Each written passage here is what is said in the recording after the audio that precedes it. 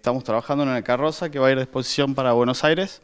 Este, tratamos de poner varias técnicas que utilizamos acá día a día en Infinito. ¿Qué trabajo trata de demostrar teniendo en cuenta que se trata algo específico de la fiesta de los estudiantes? Eh, es un poco la unión de lo que es la fiesta, porque va a incluir flores y algunas técnicas que utilizan día a día los carroceros de la provincia, pero también un poco de tecnología, porque tiene este control de las luces con programación con Arduino, eh, distintas técnicas de reciclado, que por ejemplo corte láser, impresión 3D, eh, un poco de todo, tratamos de incluir las dos cosas, un poco más de tecnología a la fiesta de los estudiantes. ¿Y esto se aplica en las carrozas en algún lado, en algunos aspectos?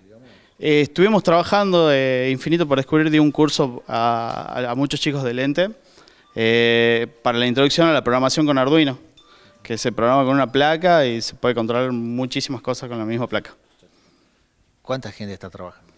Eh, todo el equipo está incluido, eh, el equipo de Infinito por Descubrir. Eh, nosotros estamos abocados casi completamente al laboratorio de fabricación, pero nuestros compañeros nos apoyan, este, aceptando a los chicos que no podemos mientras estamos trabajando en esto.